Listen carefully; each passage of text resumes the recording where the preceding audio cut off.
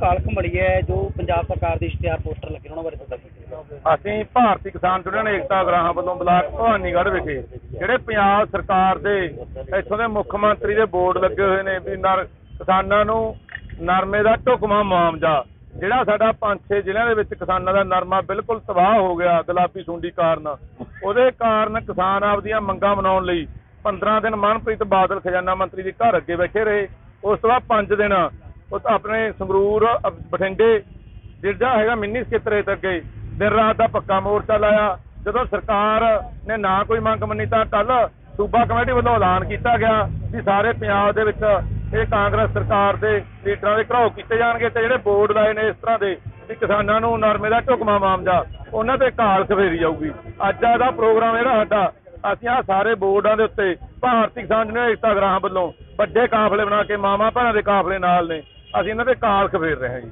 ਕੇਜਰੀਵਾਲ ਵੱਲੋਂ ਕਹਿ ਗਿਆ ਕਿ ਜਦੋਂ ਸਾਡੀ ਸਰਕਾਰ ਮਾਰਚ 'ਚ ਬਣ ਗਈ ਸੀ ਇੱਕ ਵੀ ਕਿਸਾਨ ਨੂੰ ਨਹੀਂ ਖੁਦਕੁਸ਼ੀ ਕਰਨ ਲਵਾਂਗੇ। ਇਹ ਕੇਜਰੀਵਾਲ ਹੋ ਰਹੇ ਹੋਗੇ ਚਾਹੇ ਪਹਿਲਾਂ ਬਾਦਲ ਕੇ ਲੰਘ ਕੇ ਗਏ ਨੇ ਉਦੋਂ ਵੀ ਨਰਮੇ ਦਾ ਵੱਡਾ ਮਾਮਲਾ ਲਿਆਗਾ ਅਸੀਂ 8000 ਰੁਪਇਆ ਲਿਆ ਚਾਹੇ ਜਿੰਨੀ ਕੁ ਤਾਕਤ ਸੀ ਜਥੇਬੰਦੀਆਂ ਦੀ ਹੁਣ ਵੀ ਨਰਮੇ ਦੇ ਜਿਹੜੇ ਮੁਆਵਜ਼ੇ ਕਿਸਾਨਾਂ ਨੂੰ ਜਿਹੜੀ ਆਪਣੇ ਫੇੜੀਆ ਦੀ ਲੜਾਈ ਸਰਕਾਰ ਦੇ ਖਿਲਾਫ ਉਹ ਲੈ ਕੇ ਰਹਾਂਗੇ।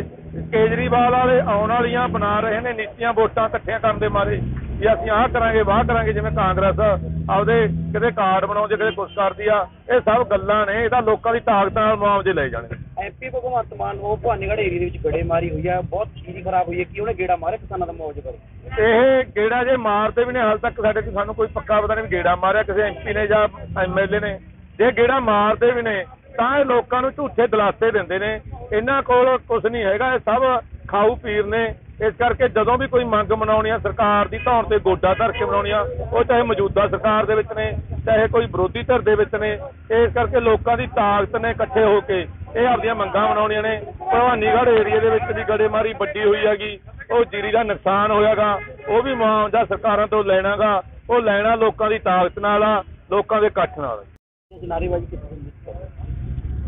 ਅੱਜ ਸਾਰੇ ਪੰਜਾਬ ਦੇ ਵਿੱਚ ਜਿਹੜੇ ਇਹਨਾਂ ਨੇ ਝੂਠੇ ਪੋਸਟਰ ਲਾਏ ਨੇ, ਉਹ ਪੋਸਟਰਾਂ ਤੇ ਕਾਲਖਾ ਜਿਹੜੀ ਮਲੀ ਜਾ ਰਹੀ ਹੈ ਇਹਨਾਂ ਦੇ ਮੂੰਹਾਂ ਤੇ, ਕਿਉਂਕਿ ਪਖੰਡ ਕਰਦੇ ਨੇ, ਝੂਠ ਬੋਲਦੇ ਨੇ, ਆਹ ਜਿਹੜਾ ਪੋਸਟਰ ਉੱਤੇ ਲੱਗਿਆ ਹੋਇਆ, ਇਸ ਪੋਸਟਰ ਦੇ ਉੱਤੇ ਲਿਖ ਕੇ ਲਾਇਆ ਵੀ ਕਿਸਾਨਾਂ ਨੂੰ ਨਰਮੇ ਦਾ ਢੋਕਮਾ ਮੁਆਵਜ਼ਾ, ਇੱਕ ਕਿਸਾਨ ਦਾ ਨਾਂ ਗਣਾ ਦੇਣ, ਜਿੱਥੇ ਇਹਨਾਂ ਨੇ ਕੋਈ ਢੇਲਾ ਵੀ, ਜਿਹੜਾ ਮੁਆਵਜ਼ਾ ਦਿੱਤਾ ਹੋਵੇ, ਇਹ ਕਹਿ ਰਿਹਾ ਹਰ ਮਸਲੇ ਦਾ ਹੱਲ ਚੰਨੀ ਸਰਕਾਰ ਆ ਕਿਹੜੇ ਮਸਲੇ ਦਾ ਹੱਲ ਕੀਤਾ ਇਹਨਾਂ ਨੇ, ਇਸ ਕਰਕੇ ਅਸੀਂ ਲਗਾਤਾਰ 5 ਦਿਨ ਮਿਨੀ ਸੈਕਟਰੀਏਟ ਬਠਿੰਡੇ ਦਾ ਘਰਾਓ ਕਰਕੇ ਆਏ ਆ ਉਥੋਂ ਬਕਾਇਦਾ ਐਲਾਨ ਕਰਕੇ ਆਏ ਆ ਵੀ ਕਿਸੇ ਪੰਜਾਬ ਦੇ ਵਿੱਚ ਕਿਤੇ ਵੀ ਜਿਹੜੇ ਇਹਨਾਂ ਦੇ ਝੂਠੇ ਪੋਸਟਰ ਨੇ, ਉਹ ਸਾਰਿਆਂ ਤੇ ਕਾਲ ਖਮਾਵਾਂਗੇ ਤੇ ਪੰਜਾਬ ਦੇ ਵਿੱਚ ਕਿਤੇ ਵੀ ਜਿਹੜੇ ਮਰਜ਼ੀ ਪਿੰਡ 'ਚ ਇਹ ਆਉਣ ਜਿੱਥੇ ਸਾਨੂੰ ਭਿੜਕ ਪੈਂਦੀ ਆ, ਉੱਥੇ ਇਹਨਾਂ ਦਾ ਘਰਾਓ ਕਰਾਂਗੇ, ਇਹਨਾਂ ਦਾ ਵਿਰੋਧ ਕਰਾਂਗੇ, ਕਿਸੇ ਪਿੰਡ 'ਚ ਪੰਜਾਬ ਦੇ ਵਿੱਚ ਵੜਨ ਨਹੀਂ ਦਿੰਦੇ, ਸਰਕਾਰ ਇਹਦੇ ਜੋ ਮਰਜ਼ੀ ਕਰ ਲੇ ਅਸੀਂ ਤਾਂ ਪੂਰਾ, ਕਿਉਂਕਿ ਕਿਸਾਨ ਤਾਂ ਲਗਾਤਾਰ ਖੁਦਕੁਸ਼ੀਆਂ ਕਰ ਰਿਹਾ। ਮਜ਼ਦੂਰ ਨੇ ਜਿਹੜੇ ਜਿਹੜੇ ਦਿਹਾੜੀ ਦੇ ਵਿੱਚ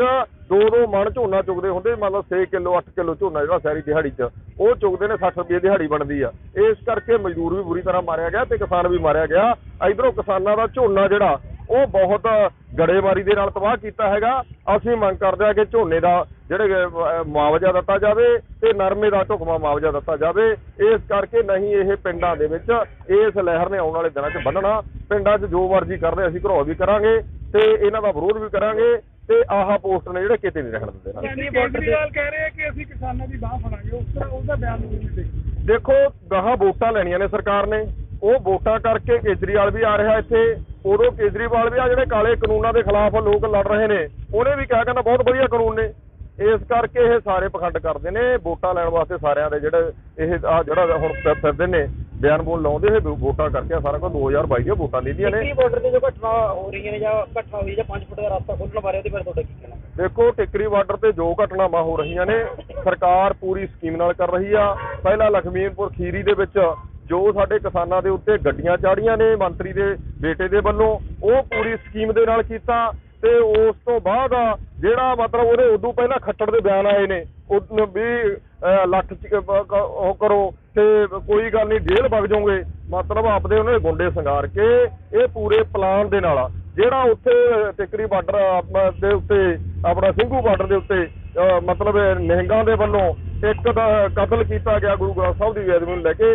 ਅਸੀਂ ਕਹਿੰਦੇ ਹਾਂ ਗੁਰੂ ਗ੍ਰੰਥ ਸਾਹਿਬ ਦੀ ਬੇਅਦਬੀ ਜਿਨ੍ਹਾਂ ਨੇ ਕੀਤੀ ਆ, ਉਹਨਾਂ ਤੇ ਬਕਾਇਦਾ ਕਾਰਵਾਈ ਹੋਣੀ ਚਾਹੀਦੀ ਹੈ ਇਹਨਾਂ ਨੇ ਕਾਰਵਾਈ ਕੀਤੀ ਨਹੀਂ। ਪਰ ਜੋ ਉਹ ਪੂਰੀ ਵਿਉਂਤ ਨਾਲ ਹੋਇਆ, ਪੂਰੇ ਤਰੀਕੇ ਨਾਲ ਹੋਇਆ, ਉਹਦੀਆਂ ਨਿਹੰਗ ਦੀਆਂ ਜਿਹੜੀਆਂ